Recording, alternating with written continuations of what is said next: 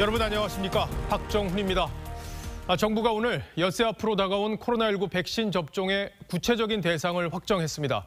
오는 26일 아, 그러니까 내주 금요일부터 시작해서 모두 34만 명이 백신을 맞는데 아, 주로 아스트라제네카 아, 그리고 일부가 화이자 백신을 맞게 됩니다.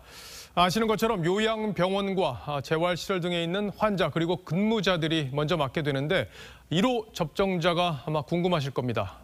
그런데 그건 아직 결정되지 않았습니다. 오늘 첫 소식은 최원영 기자가 준비했습니다. 코로나19 백신 1차 접종 대상자의 90% 이상이 접종에 동의해 정부가 접종 명단을 확정했습니다.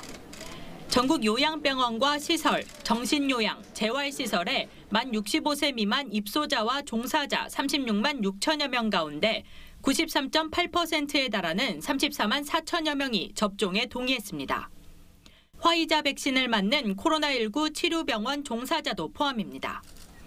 이들은 다음 주 금요일부터 순차적으로 아스트라제네카와 화이자 백신을 맞게 됩니다.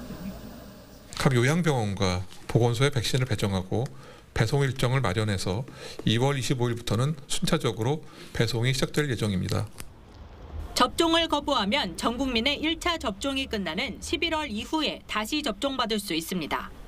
방역 당국은 3월 중으로 1차 접종을 완료하겠다며 접종 계획을 세우고 있습니다. 4월 이후의 접종 계획에 대해서는 3월에 다시 한번 발표를 해드리도록 하겠습니다. 화이자 백신도 첫 접종이 시작되는 26일을 전후로 도입될 예정입니다.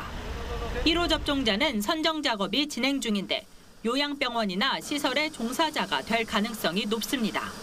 TV조선 최은영입니다.